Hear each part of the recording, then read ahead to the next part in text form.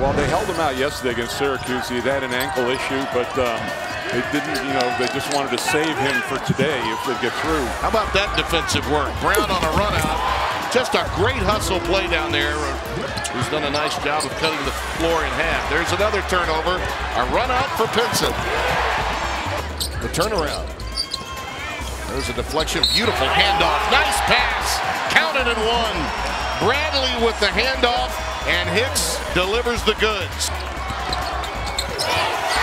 Lost the ball, and there's a run out.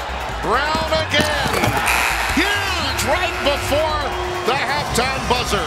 Tim, what I talk about in cutting the lead in 14 for Brown. Vasiljevic is going to be coming in on the dead ball. Another alley-oop for Hicks. Berry right on target. Former legend Mike Gminski and still a legend. And some legendary play here from North Carolina down low. Ah, wow, how about that? Check this out. I think he just got up a little bit late and said, oh, I'll leave it alone. Jackson for three. Well, that, that all happens. Reed just fell down. Your number one seed with a bullet.